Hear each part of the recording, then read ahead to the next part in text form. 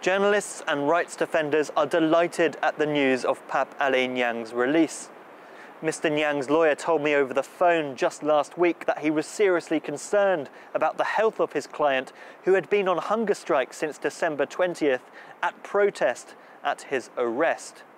Mr. Niang is a well known investigative journalist here in Senegal. He's also well known as a critic of the government.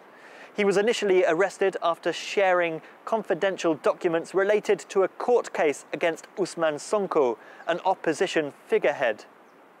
Many viewed his arrest as evidence of a wider crackdown on civil liberties under the leadership of Senegalese President Macky Sall. Mr. Niang is still yet to be formally sentenced, so he could, in theory, end up back in prison.